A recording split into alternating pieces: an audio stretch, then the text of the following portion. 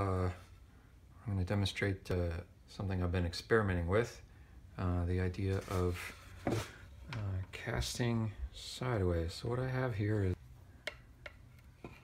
the pouring, uh, the offset pouring basin, uh, and then a tapered sprue going down to a runner and then back up into a, a surge trap bar. So this is just the running system. And then we'll get the pattern.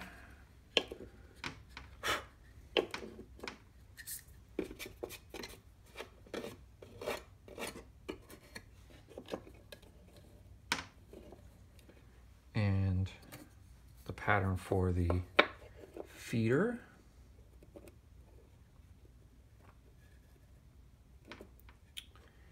And these will be ready to go and we'll fill.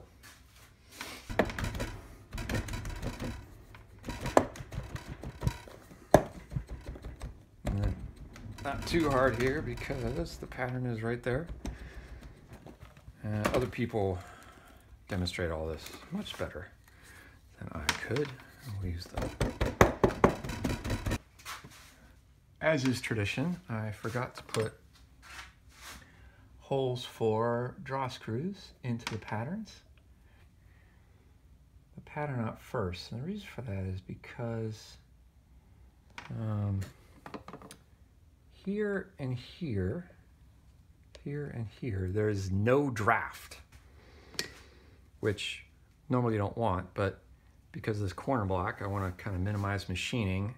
I put extra draft on the other side, and I thought I'd pull at a bit of an angle, see if I can get away with this. I see.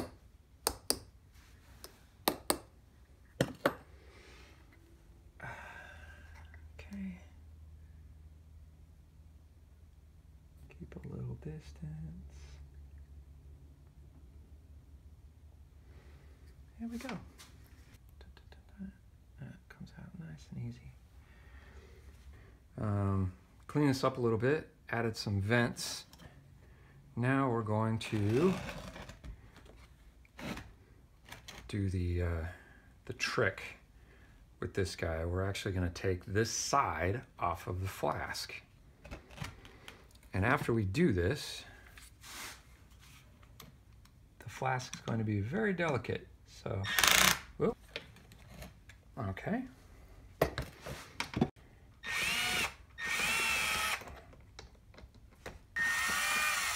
Need to come up with a quick version of this at some point, but still definitely in the experimental phase. Now, carefully set this vertical. The mold in the orientation that's actually going to be poured. So metal will go get poured in there, flow over the little bump that you're always supposed to put in, down the tapered sprue, through the runner, and then lose velocity, and then slowly build up pressure and begin to fill the pattern and the feeder. All right, now you can see the mold has put together.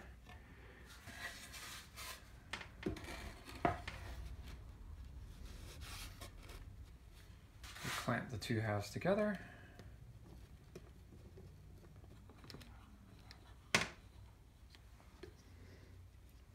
There we are.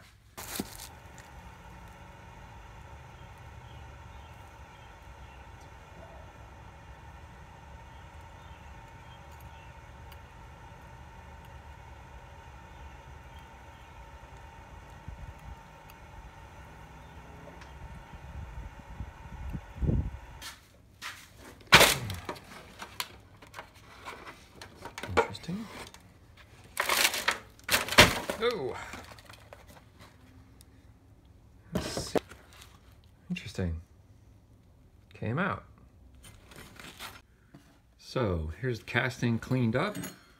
Uh, we can see that, uh, you know, there's the pour offset pouring basin.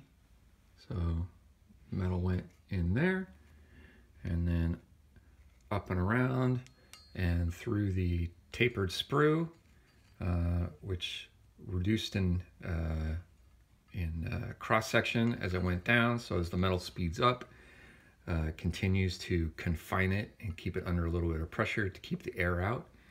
And then we have this bend and interesting, we got a lot of flash here, but um, this bend is really um, the whole point of, well, one of the points of uh, having the vertical parting plane.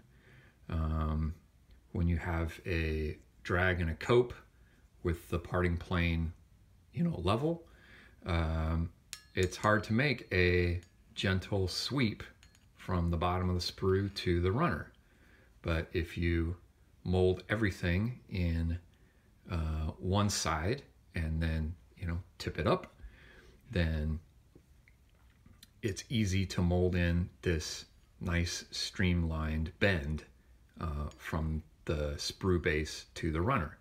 And uh, in my previous videos, uh, you could see the, the little uh, molded or the printed water demos that I did. Uh, you know, this is a, when this is sharp, uh, it's definitely a source of turbulence and definitely a point where you could get air entrainment into the metal before it gets into the um, the actual mold this flash is a pretty serious problem. And it's especially probably a problem here. You can, the, the concern is that this junction between the feeder and the pattern may have frozen early and may have cut off the feeder from the from the actual uh, molded part. So there may be a shrink down in here. We're gonna cut this open and we're gonna find out. So because of the size of this uh, um, junction between the feeder and the pattern.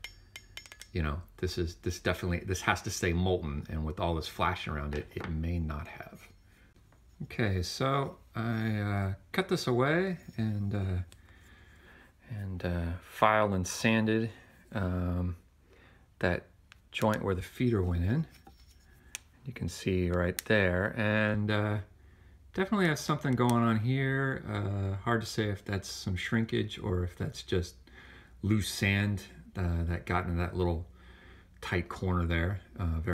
All right, here we are. I machined this side.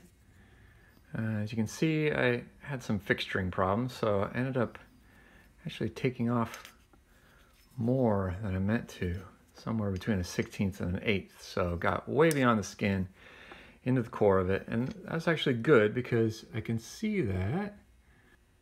Yeah, so that, what I thought was an occlusion, might be, but goes pretty deep. I think definitely some porosity there. And you can sort of see it around here. And then less here.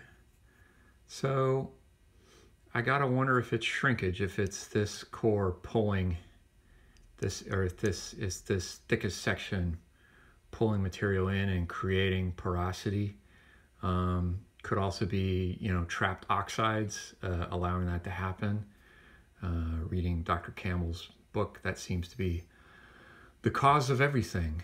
Um, so, anybody has any thoughts on what we're looking at here, um, I'd be curious because whatever it is, I want to get rid of it. So I've fed it from the bottom and I used what I thought was a big feeder and yet here we are, porosity everywhere. So something else is going on.